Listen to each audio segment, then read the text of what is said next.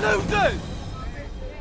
I got, we got the f*** is going on, man? You okay? Jackson, do drink in my face on my f***ing performance. You're all f***ing lowlives. All your friends are lowlives. your kid. Relax. Hey, Take no, a breath. it Take a breath. dictates what you're f***ing like because you're f***ing been friends with him since the get-go. Your, your friends are losers, break. bro. Tom should know better than bringing old man Jax to my f***ing show because he knows how it's probably going to end up. But he knows Jax is a jealous prick. He always has been. F- off, Tom. I need my suit jacket. It's Gucci. James, let's go. I need my suit jacket. Raquel's right here. We're going now.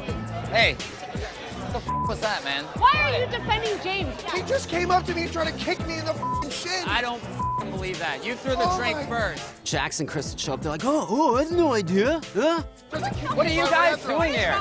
It's not enough that a lot of these people got him fired from Pump and SUR. They got to go to a place out of their way to try and get him fired from his new job. You have James's back over his? I don't give a sh if James f those girls. I didn't do sh- What did I do? threw a f drink in his face. Because he face. came up to me and started antagonizing me. Yes. Because he knows why you're here. Are you and